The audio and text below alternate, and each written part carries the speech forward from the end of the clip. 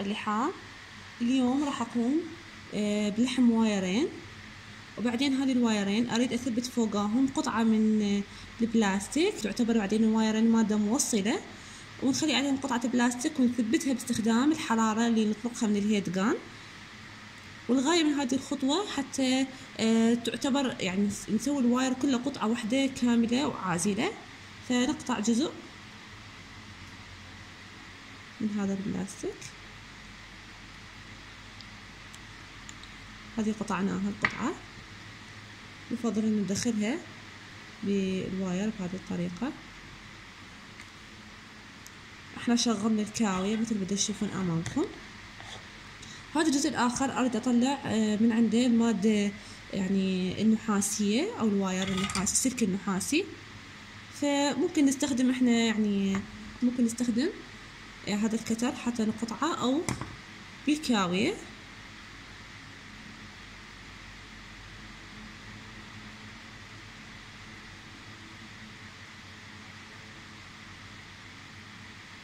حرق ال wire ونقدر نملصه بهذه الطريقة. اللي تشوفوها أمامكم okay؟ هسه نثبت الوايرين مع بعضهم. ونربطهم نقرب اليدين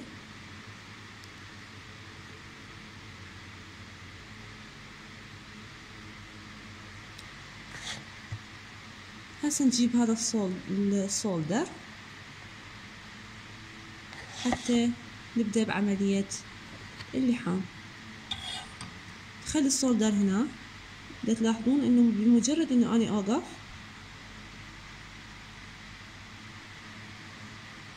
ما أعرف إذا يعني الصورة واضحة عندكم أو لا. تشوفون كيف دي, دي ينزل السولدر ننظفه. أو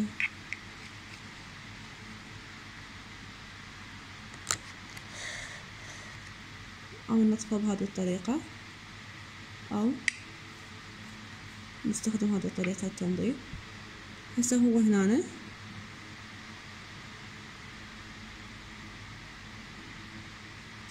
أتمنى يكون يعني الشاشة واضحة عندكم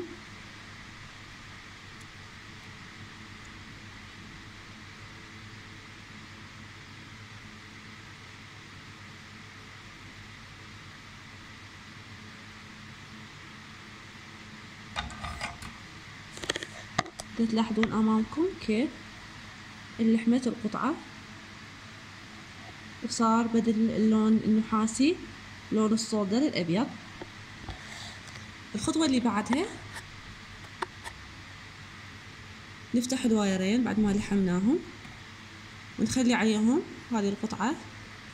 نذوب هذه القطعة باستخدام حرارة الهيدجان اللي راح نتناولها في الجزء القادم من هذه الدورة. الخطوة الآن سوف نقوم آه، بإضافة هذا الآن سوف نقوم بإذابة هذا البلاستيك أو بتسليط حرارة الآن. الآن سوف نقوم بتسليط حرارة على هذا البلاستيك اللي هو فوق الواير. إحنا خلينا به هذا الجزء حتى نغطيه. ونستخدم دائما الهيد جان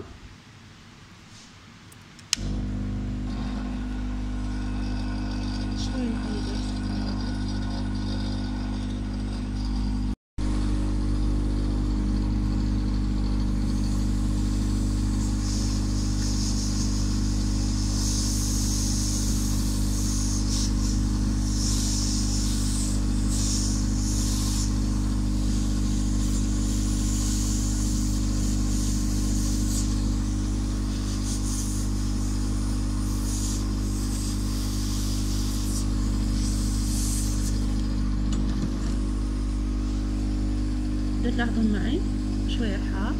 صار هسه قطعة ثابتة غير قابلة للتحرك وبالتالي إحنا حفظنا البليت. آه إذا صار آه مرور تيار كهربائي ما راح يسبب أي ضرر على المستخدم.